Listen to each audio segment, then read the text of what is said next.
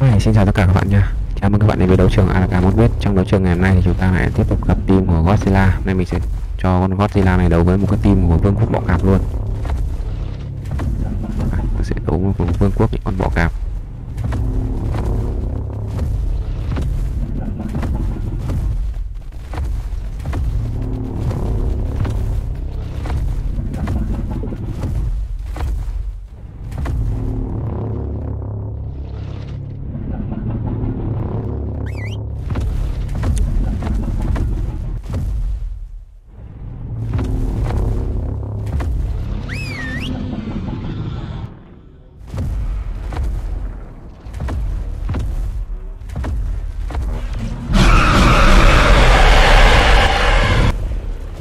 Mới có bọ cạp là khá yếu.